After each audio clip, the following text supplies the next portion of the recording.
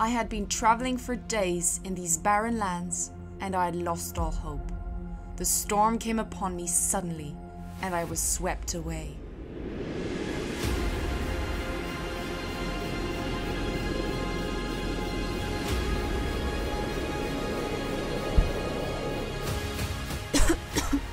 Where am I?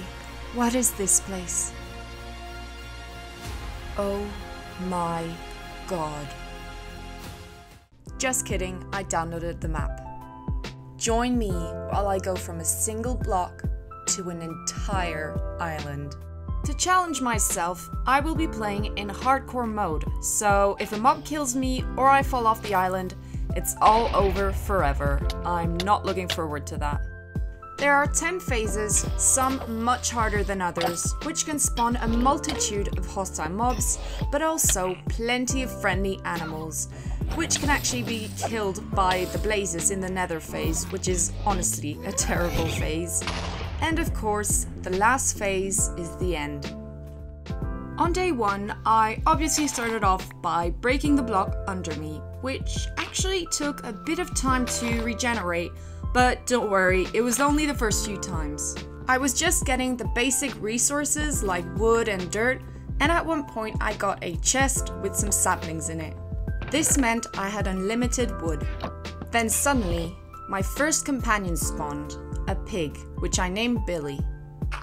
Billy is a very daring pig and he likes to live on the edge, so I extended the island a bit. And I'm not sure what he's doing here. I then got a water bucket, which allowed me to place a slab under the infinite block so that I was able to get some gravel. I then got a chest with some hearts on it, and it gave me my first torch. After that, there was an upgrade, and I entered the first phase, which was the plains. That was when Billy's best friend spawned, and I called him Ben. I started getting a lot of animals like a cow named Susan and a sheep named David. I even got some conjoined chickens, which were quite cute, and I named them Taylor and Tyler. I started getting more and more animals, and I simply couldn't name them anymore. This island was simply turning into a farm, and honestly, I quite liked that. I finally got a benevolent gift, and then there was an upgrade, it was actually time for the underground phase. Before starting the second phase, I decided to make an area just for the animals because they were all living on the edge and I didn't want them all to fall in the void, like that poor little chicken. I then started planting some saplings and a few seeds I'd got.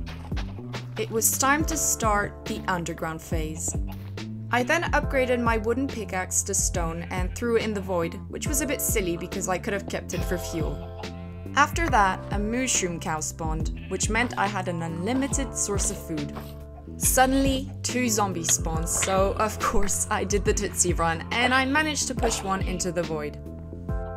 On day 3, I started pushing animals towards their pen, and I also made a hole to make it easier to push enemies into the void and this method worked quite well. I got a chest with some spruce saplings, which is quite cool because I like spruce wood. A lot of rabbits kept spawning, but they weren't very smart. That evening, I realized that dirt was quite precious, so I replaced it with granite. On day 4, I helped a cow away from the edge, and I realized that some wheat had grown, so I was able to easily bring the animals up. I got some iron and then two very nice spiders spawned, but I had to kill them because I needed string and also they would turn hostile at night. Of course, what I dreaded happened. A creeper spawned. Thank god that hole works well. I then got wool from the sheep and made a bed. That was when I realized that the sheep would need grass, so I started putting some dirt everywhere. After getting a decent chest with a bit of leather, two zombies spawned and they almost killed me, so of course I had to do a Tootsie run. Fighting mobs with no armor is quite stressful. Two spiders spawned, so I let them roam about. Once I got a grass block, I stopped mining to let it spread. To pass the time, I started extending the island a bit more. I got a bit of coal and then another creeper spawned. Thankfully, I kicked him in without a problem. I then decided to build another very large platform for planting trees and actually for making my farm in the future, but I didn't have enough dirt so I finished it off with wood. On day 6, I arrived at the snowy phase and I got a wolf. I didn't have any bones to tame him yet, so I put him in a little pen just to be safe. Speaking of the devil, a skeleton spawned the next day. He dropped an iron helmet, but I don't think I had enough bones to tame the wolf yet. I decided to secure the island a little by putting some bushes around the edges. I honestly didn't like that part at all because I was so scared I would fall out of the water source and lose the world forever. Thankfully, it all went okay and I was able to plant all my crops. I then got a white fox, but he was very fast, so I let him run off. Guess who spawned after that? John from my Let's Play series. The problem with polar bears is that they're really big, so I couldn't just slide by him and push him back, so I filled up the hole and then I was able to safely push him back. John's girlfriend Mary quickly came along, and I guess she couldn't live without the love of her life. To get Mary out of danger, I thought, why not get some salmon? You know, um, polar bears love salmon. But guess what? I fished for a bit and I came back and she was actually safe. But she didn't care about the salmon, so yeah. On day 8, a wolf spawned, so I tamed him and named him Tom. That's when I saw Mary playing with fire. I didn't like that. I even got a map and was able to see what my island looked like. And then I was introduced to the monster parties. And it's basically several different mobs that spawn, and like the zombie had a sword and some armor, so that wasn't too great. On day 9, the Wandering Trader spawned, and I checked if he had anything good, and then I remembered I didn't have any emeralds, so I killed him. A few moments later, I realized that one of the llamas was actually spitting at one of my wolves. That got me angry, so I decided to kill it, and guess what? I hate a polar bear at the same time. Oh yes, John was not happy, and honestly, I can't blame him. I decided to put him in a little house for him to calm down, and his nose was sticking out, it was kinda cute. Mary felt quite alone, so to cheer her up, I decided to build her a little enclosure. It didn't look nice at all, because I didn't have many blocks to use, but I did my best.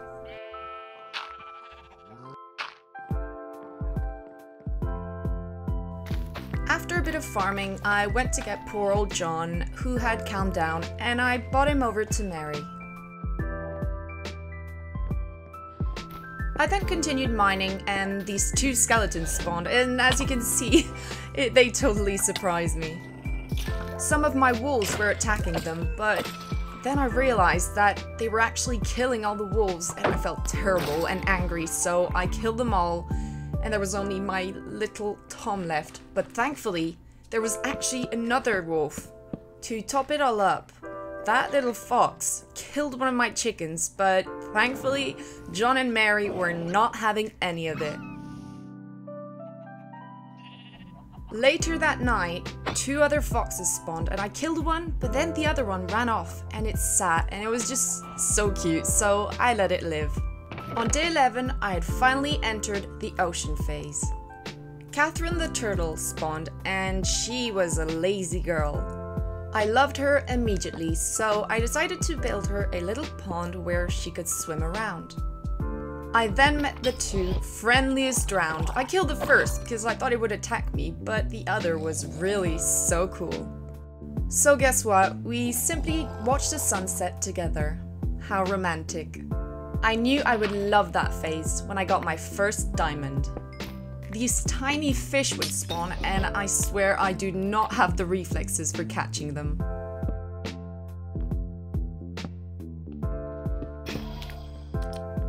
I guess Elder Guardians are not too scary on one block.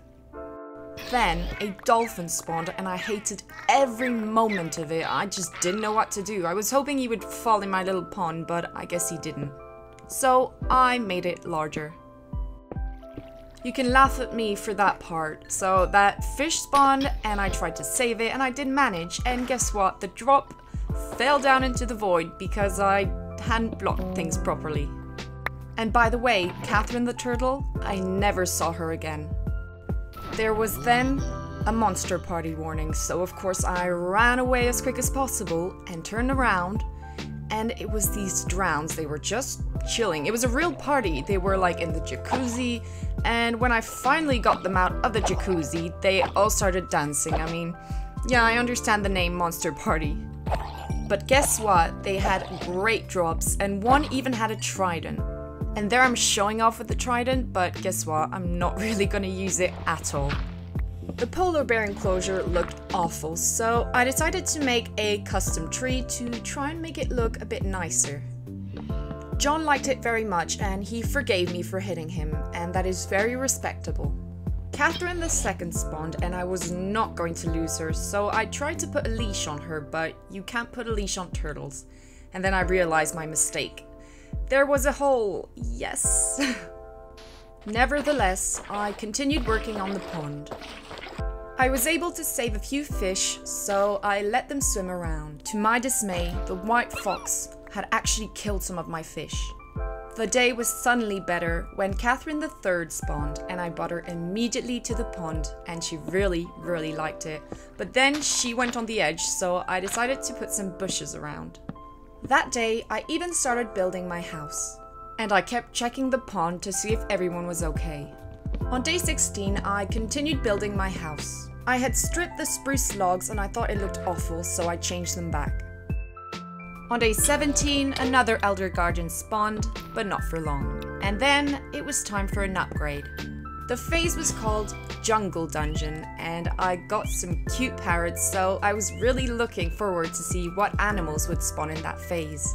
These guys were a bit tricky to sit down, but they were really awesome. On day 18, I checked on Catherine III, who was swimming around peacefully. And then two Vexes spawned, and honestly, I despise these little creatures. They're awful, and I mean, if there are two attacking you, they can honestly kill you um, immediately. So, yeah, I ran off. I spent the rest of the day working on my house and also planting a bunch of saplings because I knew I would need the wood at one point. I also fed all the animals, and when the night came, I couldn't sleep in my bed because apparently there was a monster nearby. I decided to go sleep upstairs, and the next morning I realized that there was a witch near my house, so I killed her. That made me think that maybe I should start making a monster spawner to get loads of monster drops. And then I realized that my chests were awful, so messy, so I spent the rest of the day just putting signs on chests and getting everything sorted out, and it was quite boring. And that night, I even did a Tootsie slide on my bed. The next day, I got an ocelot, and he really wanted to stay with Mary and John, and I thought it was really nice that the younger generation wanted to stay with the older one. To my surprise, a panda spawned. That was very, very cool because I never really meet up with pandas in my normal worlds because they're quite rare. I named that little guy Alex and I saw that he was a bit lost so I built him a little enclosure. On day 20, of course, some Vexes spawned, but thankfully after a while they just flew away on their own. I then got some conjoined parrots, which were very, very nice. Are you ready for the worst night ever? So basically, I couldn't sleep because there was a monster nearby, so I checked all around the house and couldn't find anything. And then I remembered the little platform I had made for for making a mob spawner. Yeah, there were loads of mobs on it. So I tried running over and building a wall, but guess what? The zombies had seen me. So I built up a little tower and killed them from there, and then I was able to do the wall. And guess what? A zombie was able to go through because I'd put some bushes everywhere. So then I decided to go home, only to see a creeper. And also I had forgotten to close my door. So yeah, I just rushed into the animal farm and spent the night there and there was a spider in my room. Thankfully, the next day, everyone had despawned except a few creepers. Trust me, after that, I put torches everywhere. I then started making another platform where I would be putting the horses. Of course, I got another monster party, and this time it wasn't just dancing drowned. Also, guess what? Catherine III had fallen into the void. To top it up, an ocelot was killing my chickens. That was not the best day, honestly. To finish the day on a good note, I went to see Alex and I started decorating his pen. That night, apparently there was a monster nearby again, and I was not taking any risks. I just slept outside. I went back to the polar bear pen and I realized that the ocelots had gone and I think they had jumped over because of the custom tree. Yeah, that was a bit sad, but you know, can't control it. Mistakes happen. To brighten up the day, little panda spawned named Josh, and I think he was a bit sick, poor thing. It was nice to know that Alex now had a companion.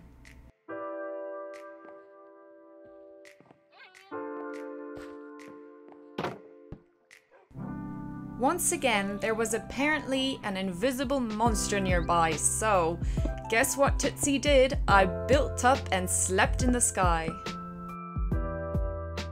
The next day, I built a horse stable and I also put the parrots on top of it because I was scared that they were doing the monster noises, but you'll see that it wasn't them. Alex and Josh had actually managed to get out because of some bamboo, and Josh enjoyed a piece of bamboo. I guess love had grown between them because they very soon had a little baby girl named Emily. From days 24 to 30, a lot of stuff happened. So, first of all, I was getting a lot of horses, so I bought them all up to the stables.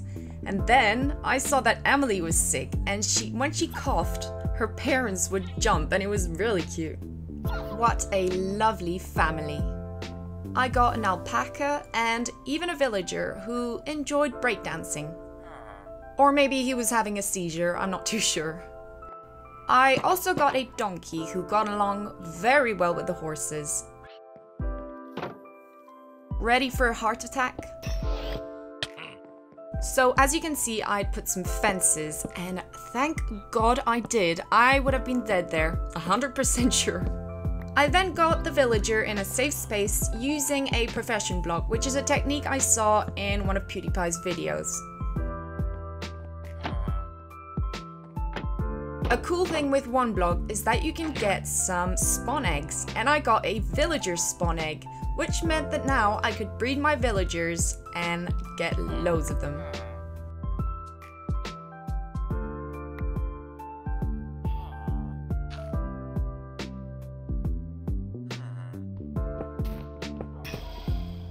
I got two more alpacas and I bought them over to the stables. And then there was a monster party, but thankfully I had put a fence so they couldn't come and get me. That was when I met Jeff. Jeff was not like the others. He was kind and respectful. He was honestly such a chill guy, so I spent the rest of the afternoon with him. Two bullies spawned, and I was afraid that I would hurt Jeff, thankfully, I got rid of them. The next morning, I happily ran down to see Jeff, and I knew we would spend the day together and it would be great, and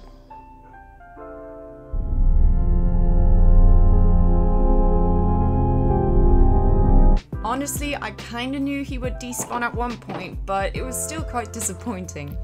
I found a cat and tamed him, and that cheered me up a bit. I started trading with Patrick the farmer to get some more emeralds. Then that big guy spawned, and I knew that if I accidentally hit him, he would instantly kill me, so I got him out and then I decorated with some bushes, and he got back in. Yeah, I'm terrible with bushes. And I know that every time I put bushes, it's a problem. I've seen it in the comments, but I don't know, I really like putting bushes everywhere. It was now time for me to build the monster spawners, so I knew I would need a lot of wood. So yeah, basically the next few days I did a lot of wood cutting and building. By the way, if any of you are wondering when the next episode of my Let's Play will be, I will be posting it in one week on Monday the 31st of May. So to get back onto what I was doing, I actually was running out of wood, so I even cut down the tree that was in the animal pen. On day 40, the mob farm was finally done, so I went up to take out the lights, and honestly, I hate that moment. I'm always super stressed, even though the mobs actually take some time to uh, spawn. But yeah, that's just me. At first, nothing was spawning, so I was a bit worried and I went off and guess what? When I came back, I was shocked. really, I have never seen so many mobs in a mob farm. The next day, I saw Tom's head sticking through the door. That was quite funny. And then, if you're wondering why I'm building a horrible looking house and a platform, it was because I had entered the nether phase. I didn't have a very large choice of blocks, so I kind of used random ones and I thought it was quite funny that it looked awful.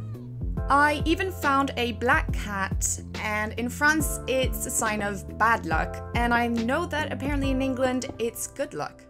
But we're gonna go with the French for this one because I don't think the nether phase will be that good. Oh wait, I take back what I said. There is some netherite. Yeah, let's go with the English. A piglin spawned and I was hoping to trade gold with him, but he died because he was on a magma block. On day 46, some magma cubes spawned, and I actually think they're quite entertaining to kill. I don't know why I like that moment. And by the way, my wooden fence is completely useless in that phase. Everything can go over it. I started getting some obsidian, which meant that I could soon be able to do an enchanting table. At one point, a baby hoglin spawned, and it basically zombified, and I killed it. Yeah, that wasn't an amazing moment. One thing I wasn't really looking forward to was the blazes, because my whole island is made out of wood, so I was really afraid that they would burn everything. A good thing was that I made great use of my ugly house. I mean, I really felt safe in it. On day 47, something spawned and it scared me, but actually, it was a daddy strider and his baby. I felt really bad for them because they kept chilling, they were really cold, and I didn't have any lava for them. Instead, I decided to bring them up to see the horses, and I even gave them a campfire, which was completely useless. It didn't warm them up at all. Oh, and that horse tried to escape, but I was too quick for him. To prevent all the animals from taking damage from the campfire, I decided to build a wall around it. I knew the campfire was useless, but I don't know, I thought it could help. On day 48, I had to kill some cows because I needed the leather for making bookshelves. I decided to place the enchanting table on the upstairs terrace. And I really got lucky. One of my first enchants was Fortune 3. I even managed to get power 4 on my bow. I even got a grindstone to get rid of enchantments I didn't like.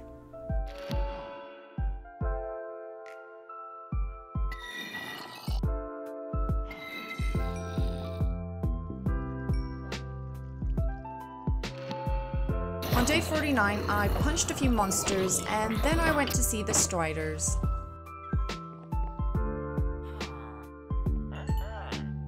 For a bit of fun, I got my dogs up and I let them chase a wither skeleton. I thought it was quite funny to watch him run about.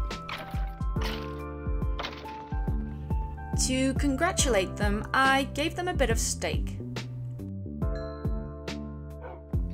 And now the moment I dreaded above all, ghasts. As soon as I opened the door, the ghast would send fireballs at me, so I opened the door very quickly and just shot one arrow, and I don't know how, but I got it. It's even dropped a ghast tear, so that was pretty cool. Two piglins spawned, so I was hoping I could trade gold with them, but one died on a magma block, and the other zombified.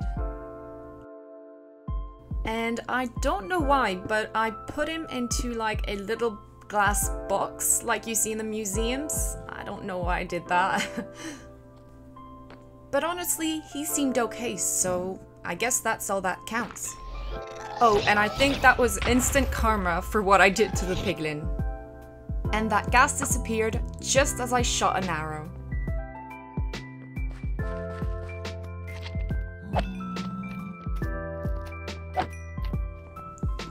Day 52, I got a few magma blocks, and then there was a monster party, so I knew that wasn't good, and I tried to shoot at a ghast, and once again, it disappeared. All that was left was a blaze, and it was kind of difficult to kill the blazes because they could just, you know, fly and fall into nothing. On day 53, my fence finally had some worth two hoglins spawn and they could actually hit me even if I was, you know, behind the fence. When some blazes spawned, I decided to hide behind the piglin glass box because they couldn't see me. But when I tried to attack them, they kind of burnt out some parts of the place, so that was really cool. And guess what? I completely forgot I had a bow and that I could shoot at them from a distance, yeah typical Tootsie. I then worked a bit on the piglin's display case, which in French you would call a vitrine. Of course, I then got some ghasts and I had a bit of shooting practice. Ghasts are actually pretty good for that.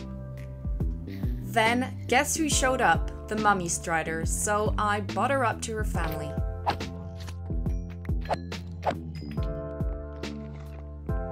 On day 54, my dogs attacked some wither skeletons and one of them got hurt so I quickly gave him some steak and he even had a baby.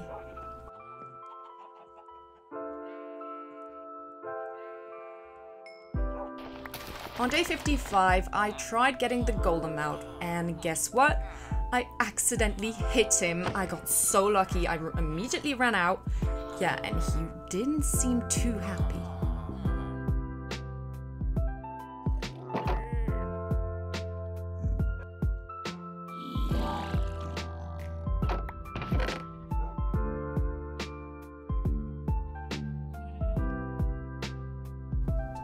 At one point, I was getting a bit sad that my pond was completely empty, so I took two volunteer chickens and I bought them over. I also bought a sheep over because a pond can't be a pond without water sheep in it. I got two more piglins and I was hoping to put them in a display case, but they actually despawned really quickly. Once again, two hoglins completely bullied me from the other side of the fence. I tried to get my revenge, but the hoglin was like, no way. The next day, I got a turtle egg. That meant it was my last chance to get a turtle. I went to the pond and I built a little fence with a block of sand in the middle and a roof so that the eggs would be nice and safe. I then remembered I had a trident, so I decided to show it off and yeah. A blaze spawned and I thought, one blaze, it can't be that bad, but I could not have been more wrong. It started off by me catching fire and honestly that wasn't too bad and then I turned around and I realized the farm was on fire. My first thought was to save the animals, but I caught fire and that almost killed me. Once I was safe, I quickly extinguished the fire to save the remaining animals. The sound of all the animals burning was honestly not nice to hear. But on the bright side, I had cooked steak. It was really difficult to build the fence back up because all the animals were running everywhere, but then I got a bunch of eggs and I repopulated the farm. The next day I got a bucket of lava which meant that I could now do a cobblestone generator. I had now entered the idyll phase, which was honestly great because there were some bees. The only problem was that the bees would simply fly off in the void and just get stuck there. They would they wouldn't die, but they wouldn't come back up, so that was a bit strange. This phase also spawns some angry bees and some slimes.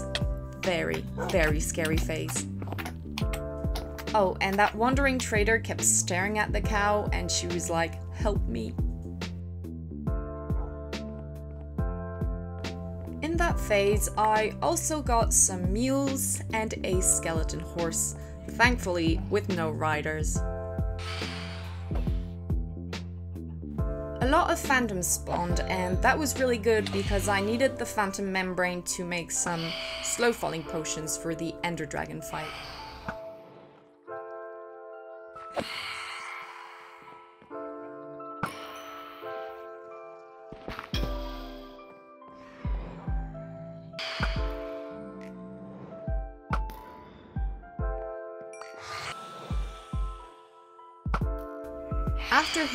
A bunch of mobs, I realized that there was an Enderman near my house, but when I went to see, it was invisible.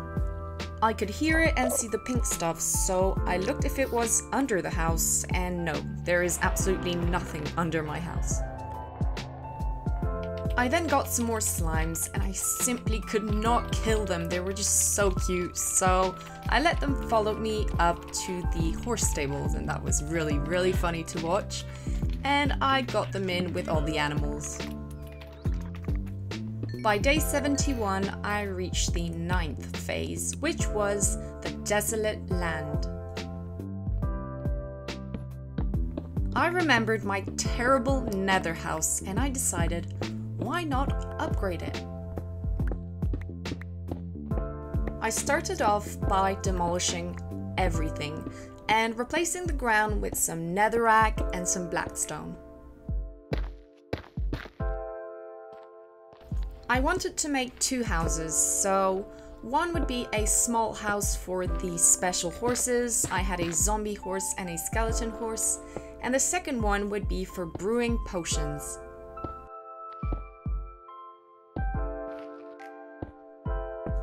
I wanted to make the roof entirely blue, but guess what? I didn't have enough blocks, so I used some spruce wood instead. It doesn't look that much like a nether house, but I did my best.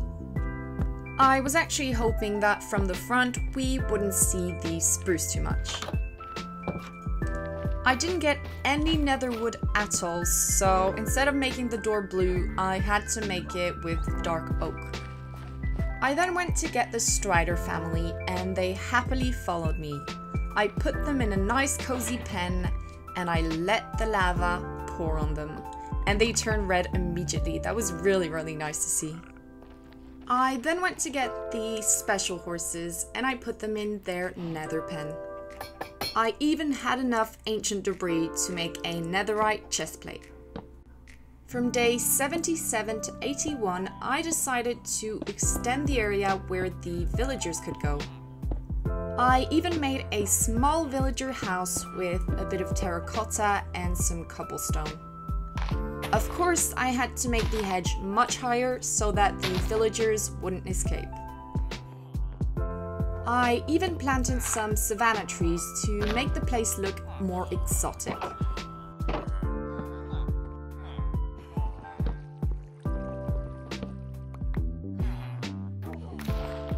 After a bit of morning mob punching, I decided to go back mining and I got some more diamonds.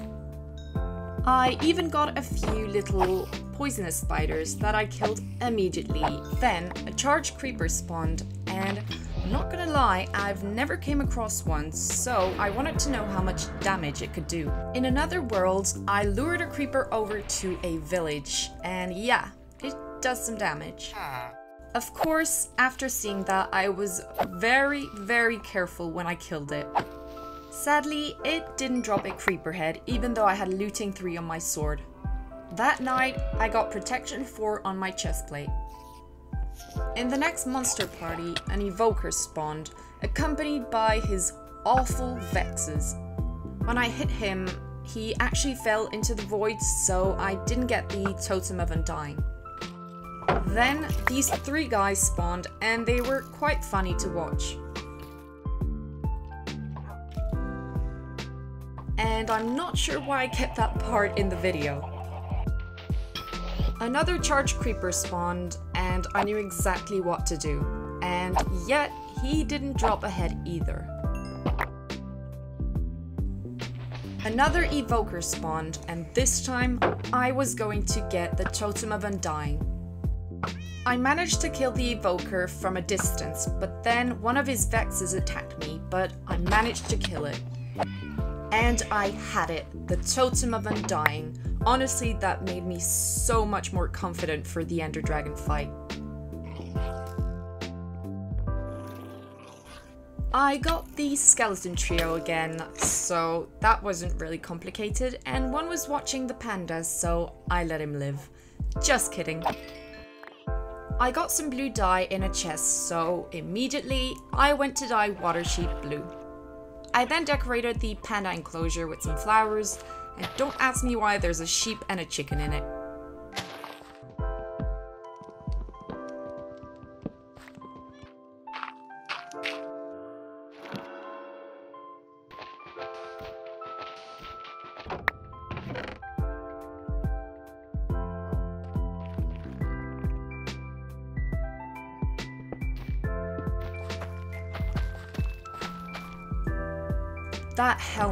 Had really, really good enchantments. From day 91 to 98, it was the end phase. A lot of endermites spawned and they were really easy to get rid of with the sweeping edge. The best way to get leads from the Wandering Trader is to kill the llamas first so that they don't spit on you. I harvested and replanted some nether warts that I would be needing for making potions. Out of curiosity, I decided to make a nether portal because I was 100% sure that it wouldn't work. And guess what? It works! I felt really silly because I was struggling to find some blocks to make the nether houses and I could have simply went into the nether. Nevertheless, my goal was to defeat the ender dragon so I couldn't waste any time in the nether. Endermen started spawning so I built a little shelter to protect myself from getting any damage. As I had looting through my sword, it wasn't too hard to get some ender pearls.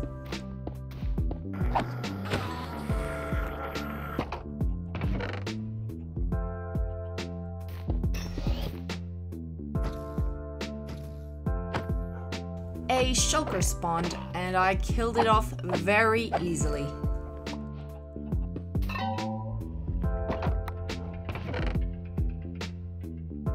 This is when I learned that if you stare at an Enderman and keep eye contact, it won't actually attack you. But the moment you stop, it will. I even made a little area where I put all the discs I had collected from the mob farm.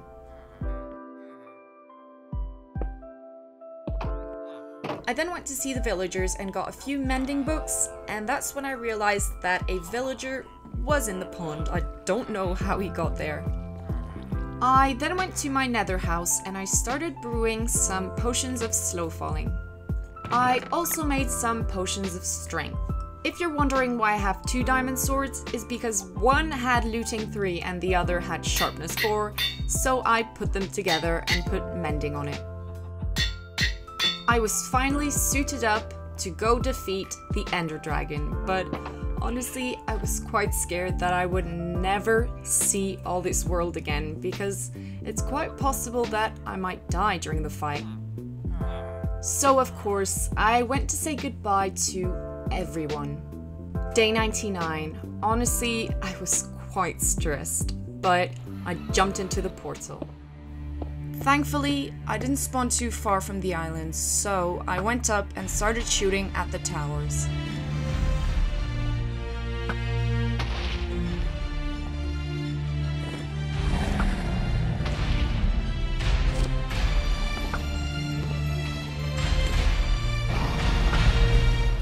Don't know if you've noticed, but I completely forgot to drink these slow falling potions, so if the dragon had hidden me in the air, I would be dead. I then started climbing up a tower and the dragon kept shooting at me, but I managed to destroy two crystals. And when I jumped off, I accidentally looked at an Enderman who attacked me as soon as I reached the ground.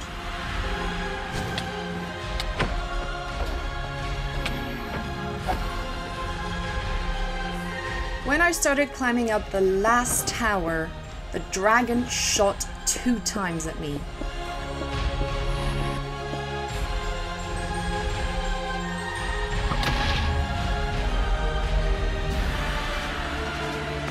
When the dragon flew down, I drank my strength potion and I hit it and hit it and hit it. And it actually hit me at one point. Are you ready for disaster? My slow falling potion is slowly wearing off and I have no idea. The dragon suddenly throws me in the air and I have no idea that I don't have the slow falling potion. I had only one heart left and the dragon throws me in the air another time and I'm dead. Thankfully, I had the totem of undying. I had been given a second chance and I was going to seize it.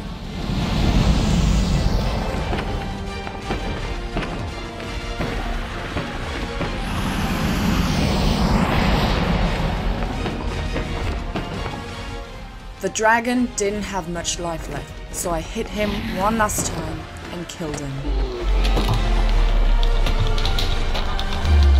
The end was finally free. All I wanted was to get home safe, so I collected all the levels, took the egg, and went home.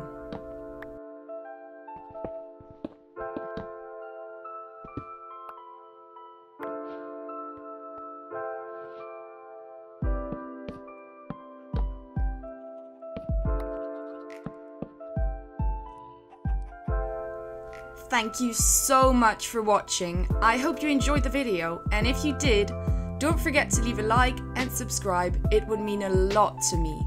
Anyways, until next time, see ya!